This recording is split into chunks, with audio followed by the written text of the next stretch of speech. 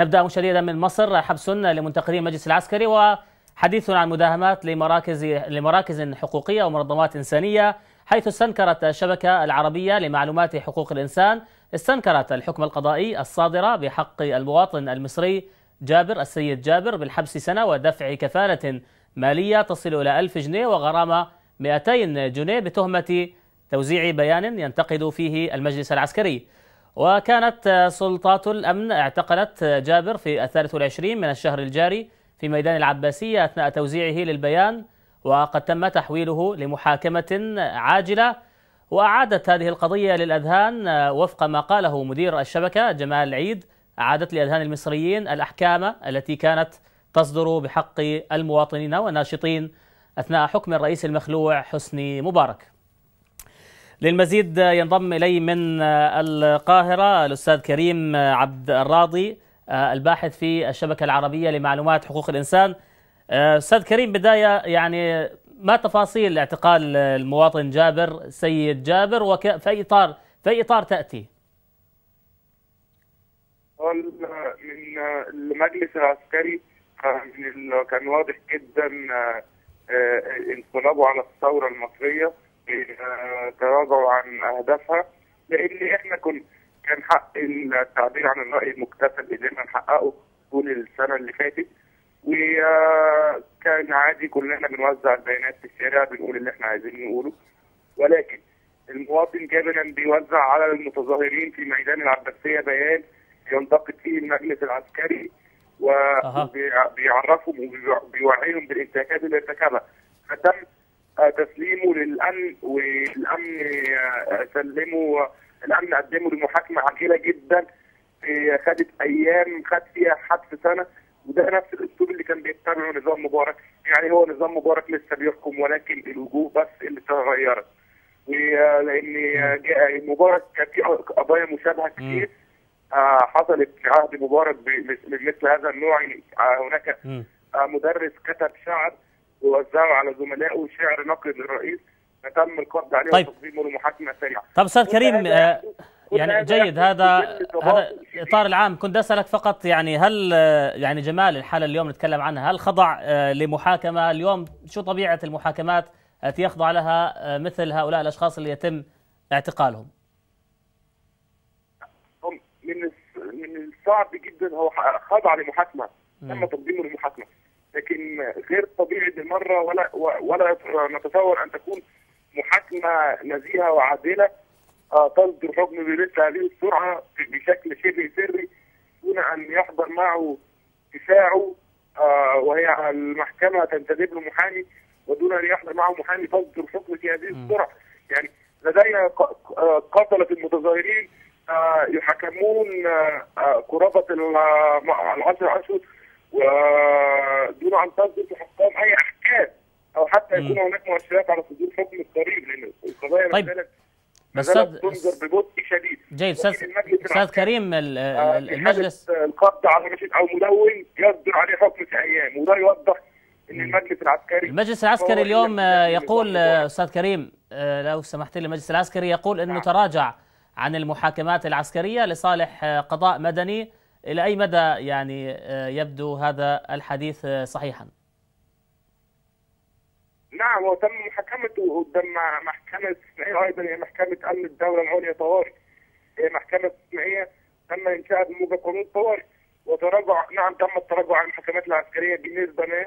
آه ولكن آه أيضا تتم المحاكمات أمام محكمة استثنائيه وهي محكمة أمن الدولة العليا طوارئ التي كان يستخدمها مبارك أيضا في قمع المعارضة وكأن الثورة لم تكن وكأننا عدنا إلى ما قبل يناير الماضي والمجلس ومكتسبات الثورة أصبحت تتآكل كل يوم تتآكل كل يوم حتى أصبح قمع حرية التعبير. بصورة أكبر من التي كان عليها أثناء نظام مبارك.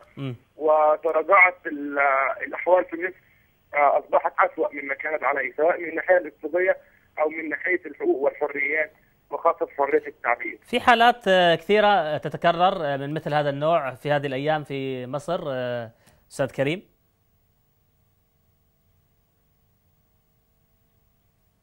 أستاذ كريم تسمعني؟ ألو نعم أستاذ كريم كنت سألتك يعني هذه الحالة لجابر في حالات كثيرة تتكرر في مصر يعني آه، في هذه الأيام لها علاقة بانتهاك آه، حقوق الإنسان هي آه تم آه برضو آه تم اليوم آه اعتقال مواطن من من المتظاهرين في ميدان التحرير وتحميله مسؤولية حق المجمع العلمي ويدعى السويسي مواطن يدعى السويسي أحد المتظاهرين.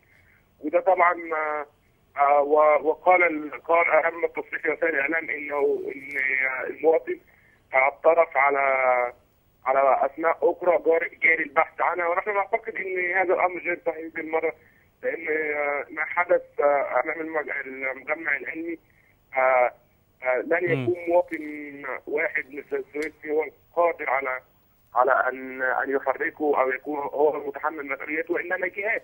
المجلس العسكري فقط يريد أن يصفي قوى الثورة وفي نفس الوقت ينفي عن نفسه الاتهامات بقمع الاحتجاجات وبقتل المتظاهرين. طب أنتم أستاذ كريم الطرف الثالث المدني أنتم ك يعني منظمات حقوقية ومنظمات حقوق إنسان عاملة في هذه مثل هذه الأجواء هل فقط يقتصر دوركم على إصدار بيانات؟ لماذا لا توفروا الحماية مثلا القانونية أو الح...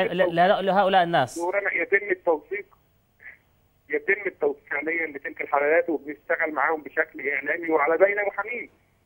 محامين بيحضروا للدفاع عنهم وبنحاول استخدام الآليات الدولية لحقوق الإنسان في الدفاع عنهم ولكن كل هذا المجلس العسكري لا يحترمه من الأساس وبدأنا كما اخبرتك نعود لعهد مبارك الذي كان لا يحترم فيه أي قوانين أو تشريعات دولية. طيب. وحتى منظمات المجتمع المدني يعني تشن ضدها هجمة آه كويس. أنا بدي أسألك هنا أستاذ أستاذ كريم بدي أسألك يوم الخميس توجهت يعني قوات من الأمن مصحوبة بعدد من ممثلي النيابة العامة إلى عدد من المراكز الحقوقية في مصر.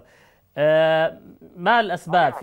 ما هو يعني السياق اللي تأتي فيه هذه المواجهة بين الأمن وبين المنظمات الحقوقية؟ أنا أنا أنا المجلس العسكري بدأ منذ فترة طويلة أن يصفي قوى الثورة أو القوى التي دعمت التغيير وكشفت فضائح النظام السابق.